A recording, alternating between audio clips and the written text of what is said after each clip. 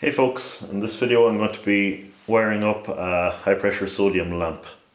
There are four elements to this circuit. There is the lamp itself and the lamp holder.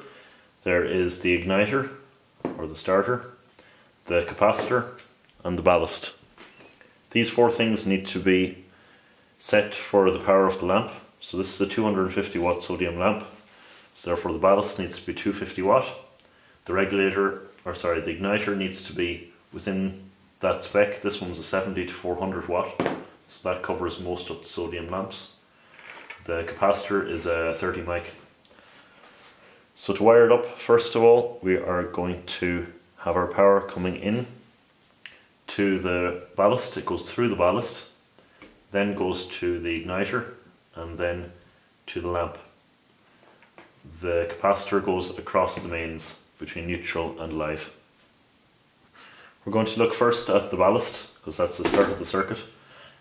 Different ballasts have different amount of taps. They're essentially just uh, like a choke or a transformer. So there's a large wind of copper wire and all it does is it limits the current going to the lamp. If you have the wrong incorrectly sized ballast it'll send too much power through, too much amperage through to the lamp. It'll get too warm and it'll blow. So this one here we're going to just use the tap for 240 volts. This is five taps for the different voltages 220, 230, 240 and 250 and this other one is set for 240 volts so it just has an in and out. There's an issue with this one, it's buzzing quite loudly so we're going to use this one here for this video. So the first thing we're going to do is we're going to wire our positive into the 240 volt tap. So we have our power coming in on the positive into the ballast.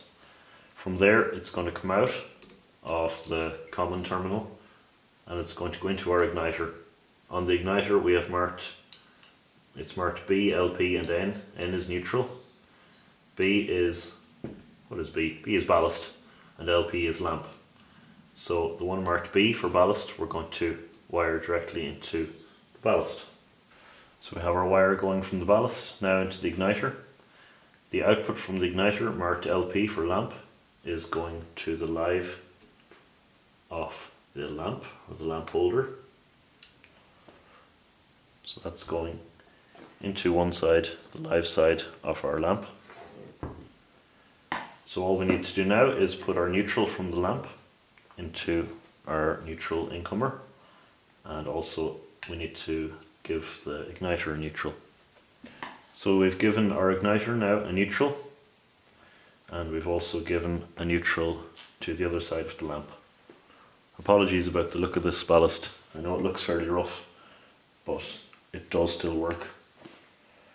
So for the circuit to function properly, we need to add our capacitor and we do that by just placing it between the live and neutral, like so. So that's the circuit ready to light now. We've added our capacitor, we've our igniter wired in, and the power runs through our ballast. So if I plug this in now, hopefully we should have light. So sodium lamps make a fair amount of racket and noise when they're starting up. And it takes about 60 seconds or so to get that orange glow that you'd be familiar with. There are lots of different types of igniters. They look different, a lot of them, but they will all have a wiring diagram on them and they'll have the three terminals, power in, power out and a neutral. So hopefully that's of use to you if you're diagnosing one of these lights or rewiring one. Cheers, bye bye.